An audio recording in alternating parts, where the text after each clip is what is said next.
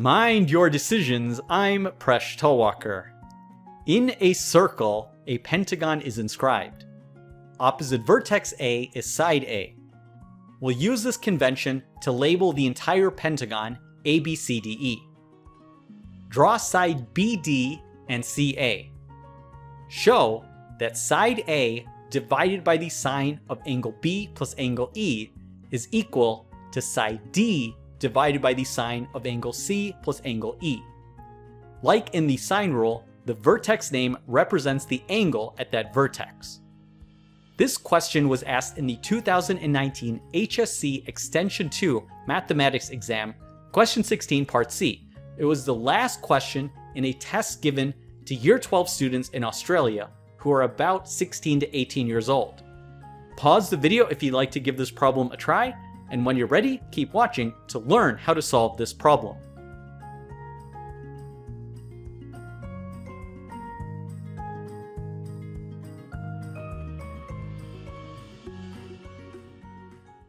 There's a lot going on in the diagram, so let's focus on triangle BCD. By Althusser's law of sines, side A divided by the sine of the opposite angle, CBD, is equal to side E divided by its opposite angle, BDC. We have a similar equation in triangle ABC. Side D divided by its opposite angle is equal to side E divided by its opposite angle. Let's now take a look at these two equations. We're going to notice something that relates them. In particular, angle BAC is an inscribed angle of arc BC, and angle BDC is an inscribed angle of the same arc. Therefore, these two angles are equal to each other because they're inscribed angles of the same arc. We'll make this substitution in this equation, and therefore, the right-hand sides will be equal to each other. We thus can equate the left-hand sides of these equations. This is quite similar to what we need to prove, but we need to change the angles in the denominators. So let's consider quadrilateral ABDE. Angle ABD plus angle E is equal to 180 degrees. This is because opposite angles in a cyclic quadrilateral are supplementary. You could just cite this on the exam, but if you've never seen it, let me show you a quick proof. We'll consider the arcs of these inscribed angles. Here we have one arc, and the inscribed angle will be half its measure. Angle E will be half the measure of ABD. Now we will add these angles together and half the measure of these arcs. But the total measure of these arcs together will be equal to 360 degrees because they span the entire circle.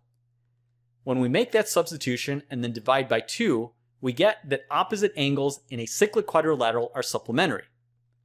We subtract angle E from both sides, and we get the equation that we want. Now we can do a similar sort of thing in this cyclic quadrilateral. Angle ACD will be equal to 180 degrees minus E. That's because opposite angles in a cyclic quadrilateral are supplementary. So how does this help us derive what we need to get? Well, angle CBD is equal to B minus angle ABD. We substitute in what we derived, and then we simplify this equation. We then take the sine of both sides, use the sum of angles identity to get the sine of theta plus 180 degrees will be negative sine of theta. Therefore, the left-hand side is negative sine of angle CBD.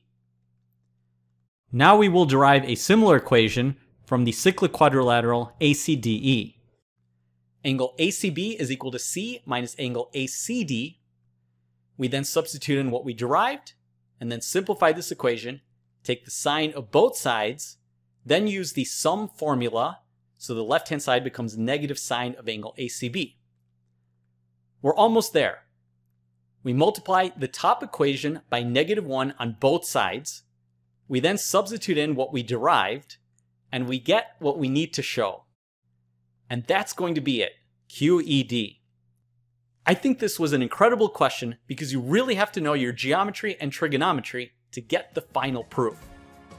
Thanks for making Mind Your Decisions one of the best channels on YouTube.